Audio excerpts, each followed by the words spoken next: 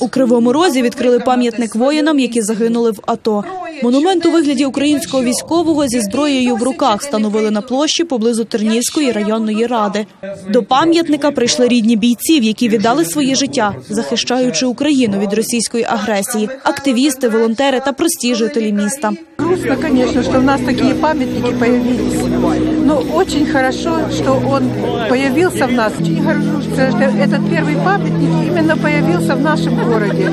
Мы сюда теперь будем ходить и воз- возлагать цветы. Віддати шану українським героям прийшло чимало військових. Серед них і депутат об'єднання Самопоміч, який служив добровольцем у 128-й гірсько-піхотній бригаді збройних сил України. Тарас Пастух.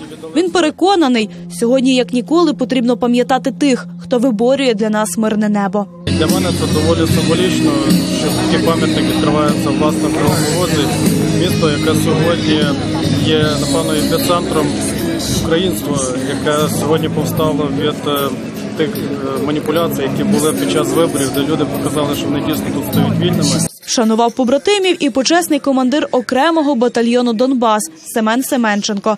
Кандидат на посаду міського голови Кривого Рогу каже, найвищою подякою для героїв буде гідне життя українців. Это очень запоздало, но одно из первых свидетельств того, что держава начинает признавать своих защитников. Памятник есть героям, которые пошли защищать Родину, многие из которых уже погибли. Ми у них всіх в боргу,